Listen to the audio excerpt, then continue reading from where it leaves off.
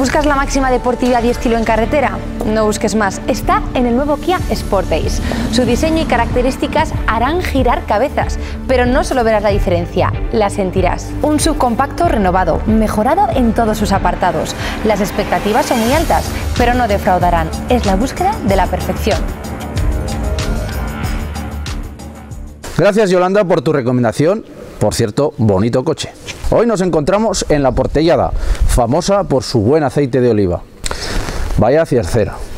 ¿Qué tal? ¿Cómo están? Sigue este tiempo ventoso, sigue este tiempo frío, fresco para la época del año en la que estamos, pero por otra parte bastante normal. Tenemos unas sensaciones térmicas más bajas incluso que las que tuvimos en diciembre y en enero y para este fin de semana la tónica va a seguir igual. Vamos a continuar con estos cielos despejados o parcialmente nubosos. Nos despedimos de precipitaciones, tenemos ante nosotros un fin de semana con tiempo seco y las temperaturas, aunque sí que hoy han subido un grado respecto ayer, eh, se mantendrán en la banda baja, mm, máximas en torno a unos 12, 13, 14 grados en los lugares que más y continuará este cierzo, sobre todo en las zonas más próximas al Valle del Ebro. Sí que es cierto que ya a última hora del sábado y el domingo puede pararse ese viento cierzo del noroeste, sobre todo en las zonas del Matarraña, en el Maestrazgo y en las cuencas mineras. Ello hará que por la noche la temperatura caiga por debajo de 0 grados, pero no esperamos eh, grandes heladas en cualquier caso. Y para finalizar, un refrán que no destaca precisamente por su belleza, pero que dice que marzo marceador, un día frío